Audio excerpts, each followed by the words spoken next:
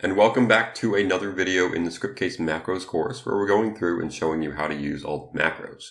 Today's macro is the SC alert macro. So this macro displays a JavaScript alert or a Sweet Alert 2 message.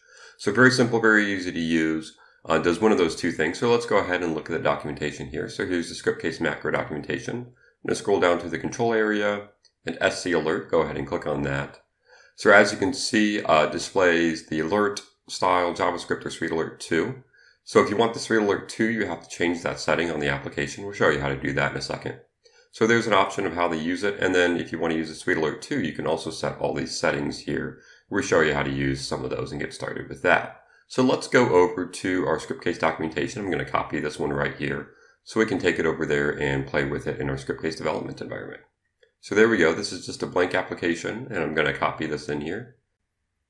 So let's go ahead and run this. And there it is. There's our message. Very simple, very easy to use. So now let's use the Sweet Alert 2. So first we need to change the settings on the application.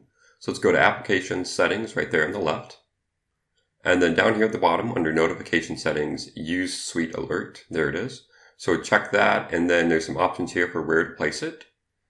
And we can mess with those, but let's go ahead and run this now. And now we should have our Sweet Alert too. So there it is. Very simple, very basic, but it looks a little bit nicer.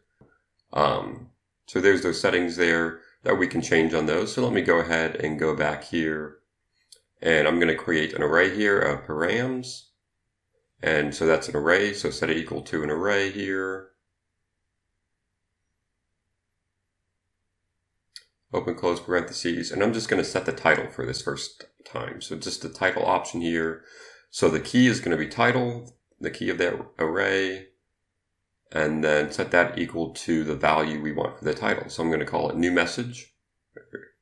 And then that should work as is. Let me make sure it's new message, not new messages. And then what I need to do is pass through those params then to the SC alert. So as a second option in the SC alert macro, and then that should work. So let's go ahead and run this. There we go. So now we have a title on that that looks kind of nice with a message area in there as well.